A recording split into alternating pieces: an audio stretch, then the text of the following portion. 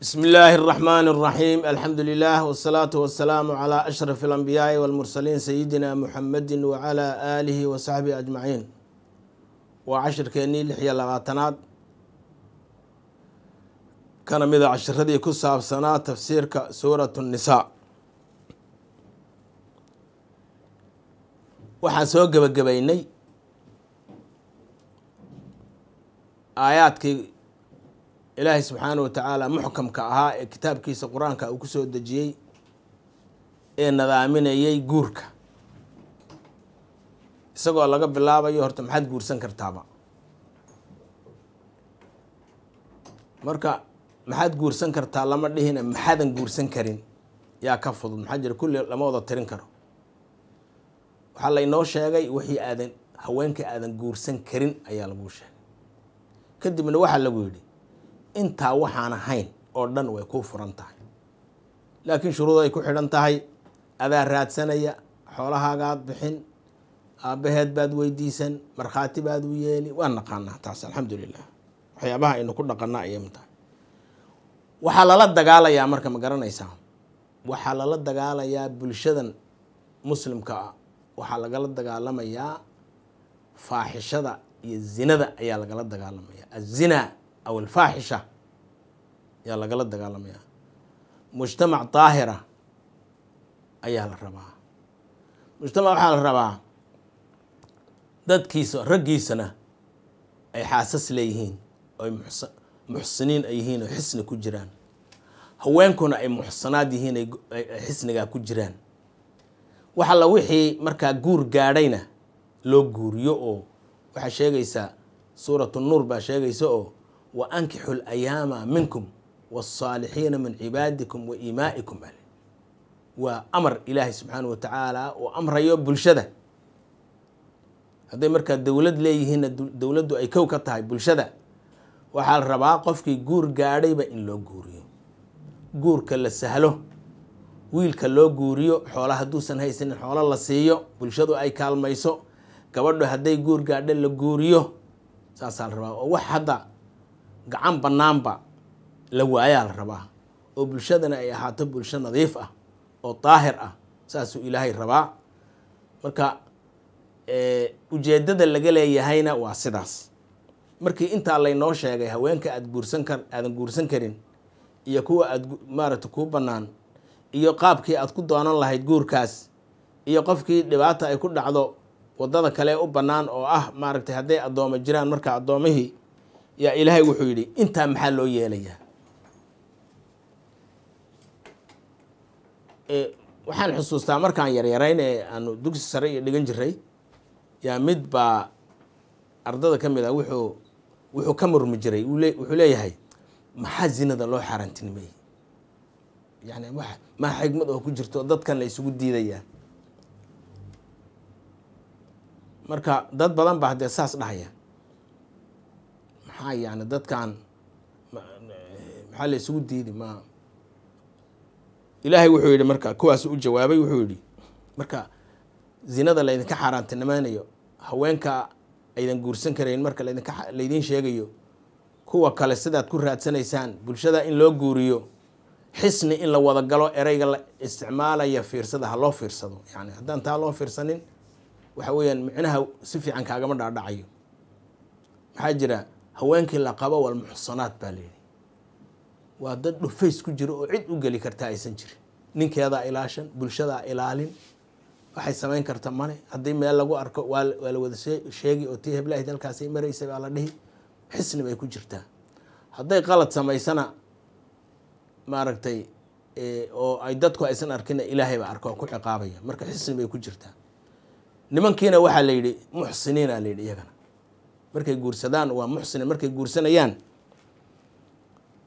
waxaa la yidhi iyagoo muxsiniina ah an tabtaquu an tabtaquu biamwaalikum muxsiniina hayra musaafixiin baa la yidhi. Marka bulshadii halkaas muxuu ilaahay saa u yeelay ujeedada laga leeyahy maxay tahay? Tii baa halkan lainoo sheegaya. Wax kale oo hadda loola jeeda male yuriidu allaahu ilaahay wuxuu doonayaa buu yidhi. Liyubayina inuu idiin caddeeyo lakum idinka. Maxaa waa la gooyay? Wixii wixii laynoo caddaynayay lama sheegin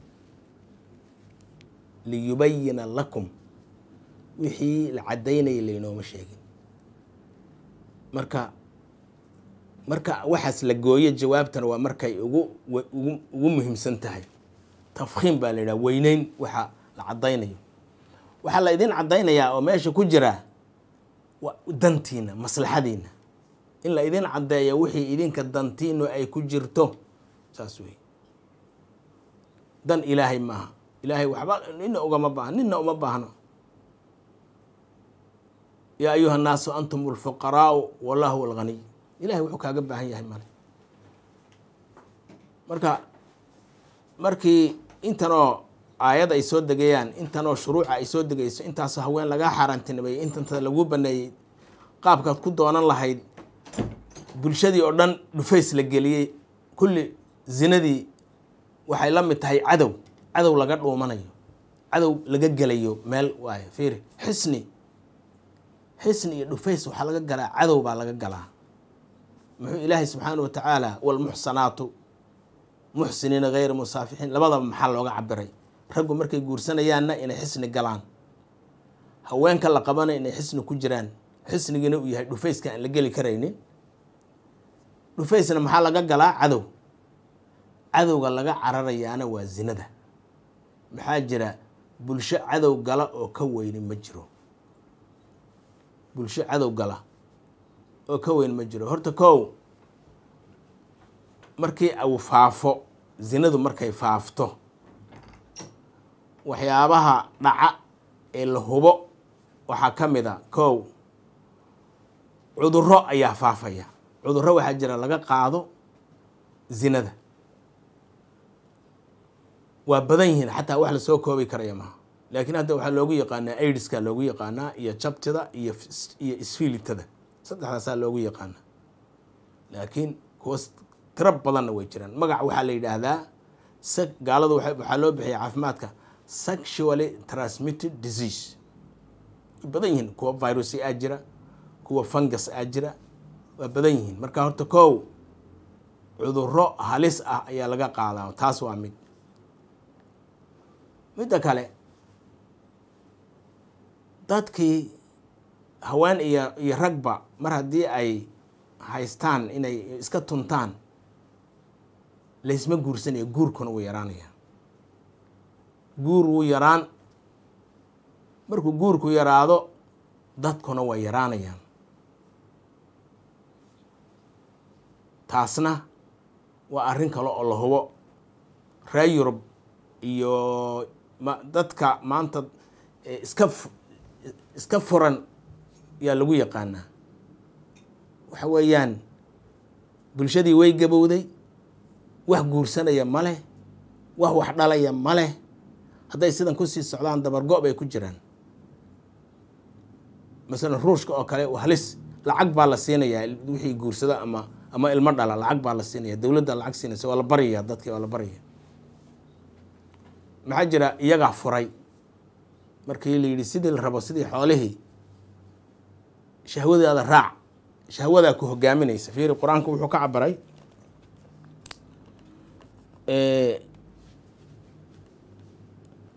wayuriiduuna wayuriidu aladiina yatabicuuna shahawaati shahwada ayay raacaan. Shahwadaa ku hogaaminaysa adu waad wa waad daba socotaa. Iyadaa meel walba ku geenaysa saas. Naagtan raasatan kala raasa gabadhan kale haddana raasatan tan.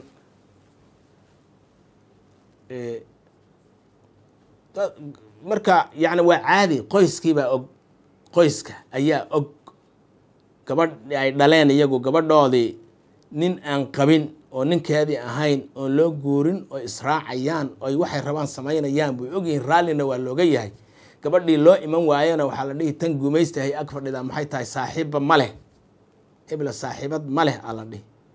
Haddana ayaan markay wada joogaan ama iyadaa nici oo wiil kale oo ka qurux badan bay arki ama isagaa nici oo mid saas. Marka cudurkiina saas u faafi guur mas ma jiro bulshadii saasay ku baabi'i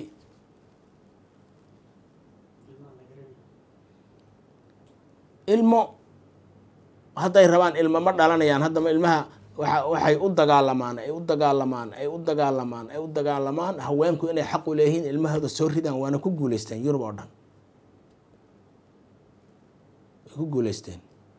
Laakiin hadday dhacdo gabadh inta la maaragtay la sasabtay bulshooyinkan caadiga ah ilmo wacelo looga tegay taas waxa weeyaan waagii hore oo hadda ma aqaano hadda beryahanna waa la calaacalayaa calaacal baa jira. Laakiin intii dagaalkii sokoeye ka horreysay sidaa ree yarun ba lahaa waa la isku mayracan jiray caadi. Waa lagu faani jiray ninkii aan saaxiibad lahayn miskiin buu ahaan jiray. Waa la caayaya ninkii aan saaxiibad lahayn. Iyo gabadhii aan saaxiib lahayn sidaa ree yarun bay ahaan jirtay. Waxaa jiri jirtay marka gabadh uun si ay ugu fakato oo sun cabaysa inta sun cabtay iyo ilmo banaanka lagu tuuray iyo waxaasoo marka waxaas aan dantiina ahayn yaa la idin caddeynaya yuriidu allaahu ilaahay wuxuu doonayaa liyubayina inuu idin caddeeya lakum idinka. Wixii dantiina a masaalixdiina waxay dantiina ku jirto inuu idin caddeeyo kow. Iyo wayahdiyakum inuu idinku hanuuniyo idin tuso sunana aladiina kuwii wadadoodii min qablikum idinka idinka horreeyey wadadoodii oo maxay kuwaasi? Waa ambiyadii ilaahay iyo dadkii saalixiintaha wadadoodii oo guurka ah. Dadka wanaagsan oo idinka horreeyey oo ambiyadii ilaahay iyo saalixiinta ah wadadoodii baa saas ahayd guurka ay ahayd.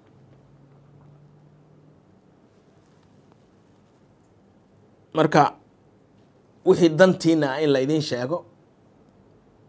Waxaan dantiin ahayn laydinka celiyo. Waddadii dadkii hore in laydin tuso. Saas weeye. Iyo wayatuuba calaykum. Hadday wax idinka dhacaan dembi ana inuu ilaahay idinka toobada aqbalo. Ama wixii aad qaladkii hore aad gashaan ilahay idinka aqbalo. Ama hadday wax idinka dhacaan uu ilaahay idinka aqbalo intaasaa laydinku caddeeyey.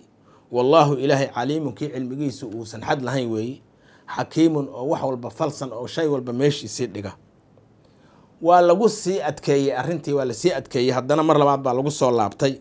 Wallaahu ilaahay yuriidu wuxuu doonayaa an yatuuba calaykum inuu idinka toobo aqbalo. Wa yuriidu aladiina kuwiisa waxay rabaan wa yuriidu waxay doonayaan aladiina kuwii kuwaasoo yatabicuuna iyagu raaca oo dabagala. Ashahawaati waxay naftoodu rabaan hadda weliba shahwadan hadda laga hadlayo waa shahwatulfarji waaye. Shahwatulfarji baa laga hadlayaa waxa oo ninkan rabitaanka naagta uu rabo iyo naagtu rabitaanka ay ninka rabto taasaa laga hadlaya. Kuwaasaa hogaaminaya taasaa hogaamin waxay ku hogaaminaysaa bes waad u baahatay. Naag baad u baahatay waa iska raadsanaysaa. Iyadii marka meeshaa rabta ka hel ama lacag ku hel ama saaxiibnimo ku hel ama saa rabta ku hel ama xoog ku hel. Saas. Kuwa oo ay hogaaminayso shahwadu waay. Shahwadan adiga waxaa la rabaa inaad hogaamiso oo ay gacanta ku hayso ood xakamayso adigu.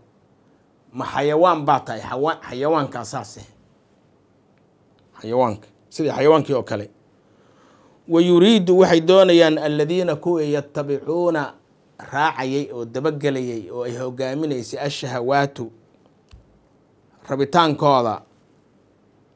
An tamiiluu inaad dheellidaan ood ka leexataan waddadii toosnayd.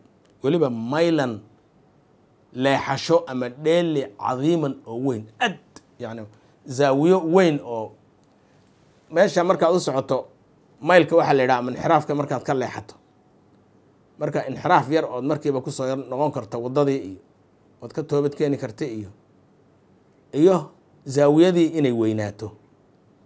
Zaawiyadu marka mar waxay noqonaysaa zaawiya qaa'ima sagaashan bay noqon.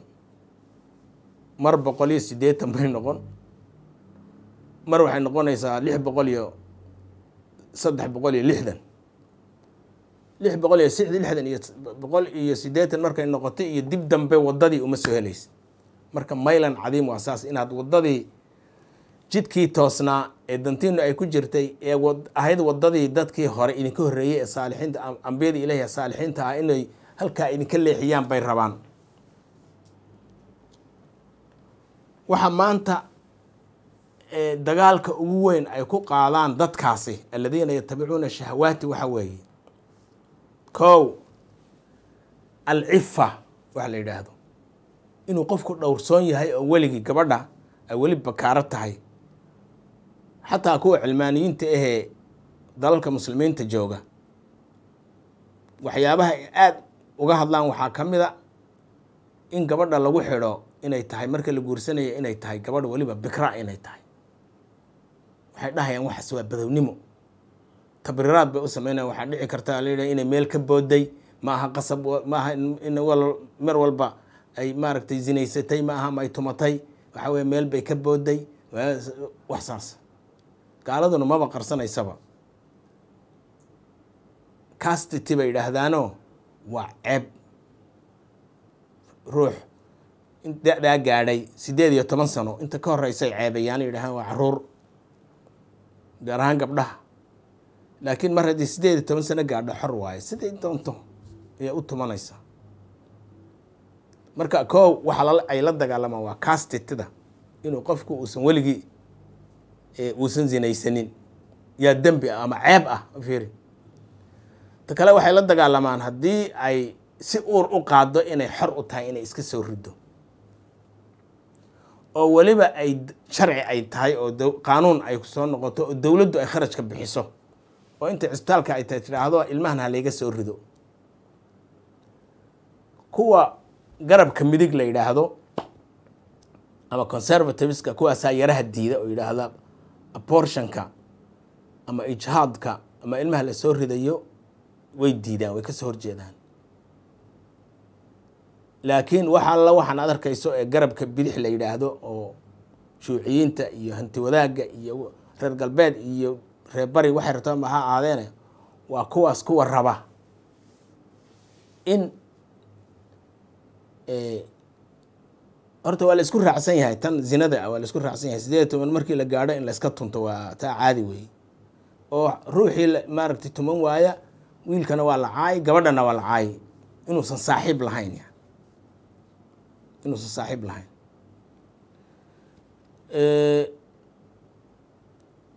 Marka taas iyada waa waa laga siman yahay. Laakiin haddii uur la qaado ha la iska haystay leeyihiin kuwa oo garabka midig kuwa kalena waxay leeyihiin ma la iska soo rido maxaa maxaa lagu falay xoqru jirhkayga anaa iskale dhihi. Saas jirhkayga anaa iskale ma jirhkayga cidi igula doodi kartaa? Waxaa kaloo dhasha markii saas la noqdo oo la xooloobo in oo shahwadu ay ku hogaamiso marka in waxa la yidhaahdo shuduud u yimaado. Shuduud waxa weeyaan hadda shahwada waxaa lagu gataa nin iyo naag in ay laba nin yidhaahdaan ay isu tagaan oo liwaadkii u dhaco. Naaguhu in yidhaahdaan nimanba uma baahnin oo iyagu isfardeeyaan marka ay khaniisyadii iyo mithliyiin baa la yidhahdaa dadkaas. Ilbaxnimada maanta dowladaha waxaa lagu qiyaasaa oy leeyihiin waxaa ilbaxa dadkii ogolaada xuquuqul mithliyiin.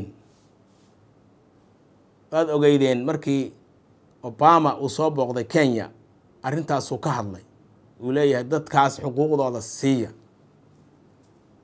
Marka uhuru baa markaa madaxweyne ahaa markuu soo booqanaya si adag buu ula hadlay. Wuxuu yidhi wax kale nagala hadal. Taas wuxuu yihi dhaqanka afrikaanka way ka soo horjeedaaye. Wax kale nagala hadal. Wax kale oo nagala hadashaan u baahanay taa uma baahnin.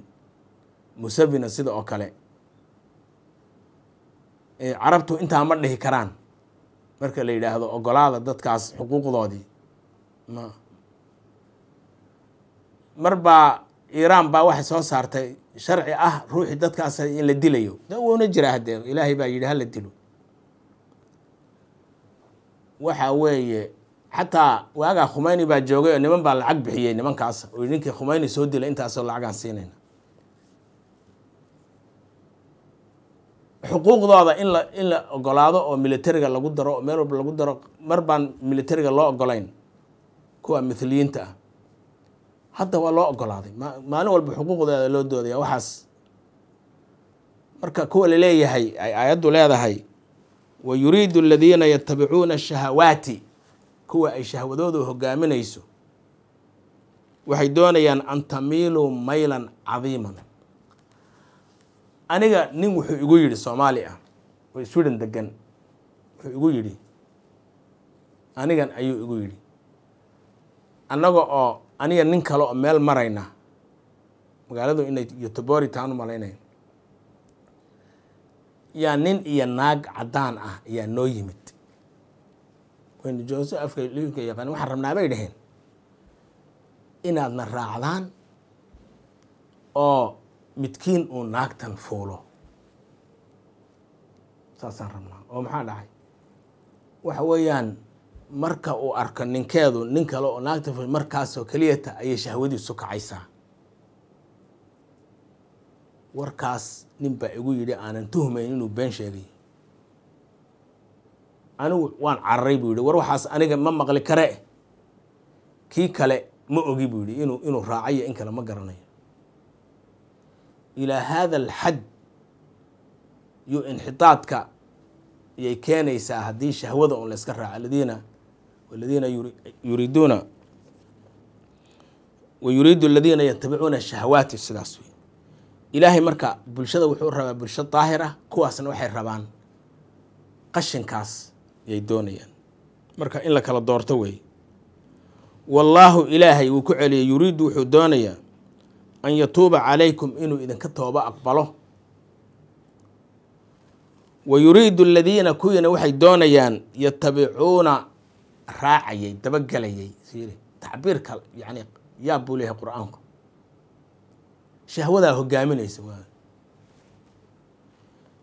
An tamiilu inaad xaqii iyo waddadaa toosan ee ilaahay uu tilmaamay uu inoo sheegay uu inoo caddeeyey ee danteennu ay ku jirto oo ah ummadihii hore ambiyadii ilaahay iyo saalixiintii waddadoodii ilaahayna uu idinka tooba aqbalayo uu raalli idinka yahay inay idinka leexiyaan maylan leexin cadiiman oo weyn. Zaawiyad weyn oo ilaa boqol iyo sideetana ama ka badan ama saddex boqol iyo lixdana inay idin leexiyaan oo jidkii ay idinka lumiyaan oo sidaa xoolo u noqotaan buu idinka doonyay doonayaan. Waa lagu celiyo ilaahay wuxuu uhi yuriidu allaahu ilaahay wuxuu doonayaa an yukhafifa cankum inuu idinka fududeeyo inuu idinka fududeeyo oo waxa weeye maaragtay guurka la fududeeyo la guursado. Inta laydinka xaaraantinimeeyo waa in yar.